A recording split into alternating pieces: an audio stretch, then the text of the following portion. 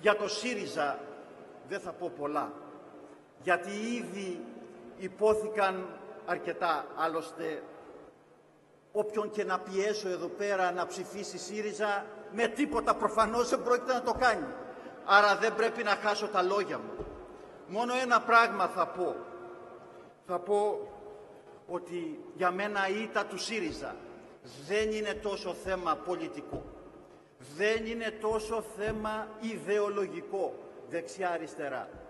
Είναι πάνω απ' όλα θέμα αξιακό. Το κόμμα που μας κυβερνά δεν έχει κανένα αίσθημα ντροπής.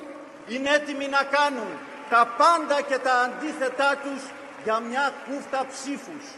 Δεν είναι αυτό πρότυπο, ιδιαίτερα για τους νέους Έλληνες πολίτες. Και γι' αυτό το δικό μου προσωπικό κάλεσμα.